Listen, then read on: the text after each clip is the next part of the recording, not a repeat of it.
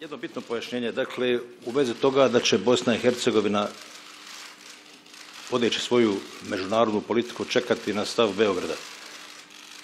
Međunarodna politika i stavovi Bosne i Hercegovine će se odlučivati u Sarajevu od strane ova tri čovjeka koja su tu. Dakle, i kako ćemo uzeti u obzir, naravno, stavove susjednih zemalja, jer živimo sa Srbijom, živimo sa Hrvatskom i posebno ćemo uzimati u obzir stavove Evropske unije, jer smo takvu stvar, dakle, ranije preuzeli u odnosu na europski put Bosne i Hercegovine.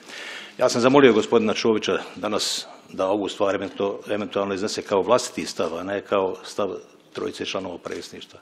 Moj stav je da se vanjska politika Bosne i Hercegovine vodi u Bosni i Hercegovini, naravno uzevši u obzir i stavove susjednih zemalja.